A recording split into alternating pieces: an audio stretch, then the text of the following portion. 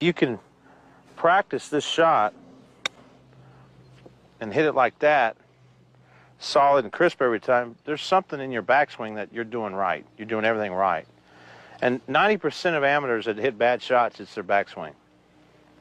Because they pick the club up, take it way outside, take it way inside. If I was to take this chip shot, you know, like that, way outside, then I got to somehow get the club back to here to hit it square. Or if you take it too far inside, you got to get here to get it there.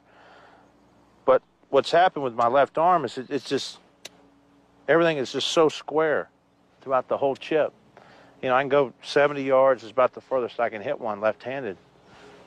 But when I hit it on line and hit it solid, I'm doing everything right on my takeaway. So when I go to hitting long irons and stuff, I feel like I'm chipping. I'm letting the left left arm just take the club back, and the right arm's just sitting on there until impact.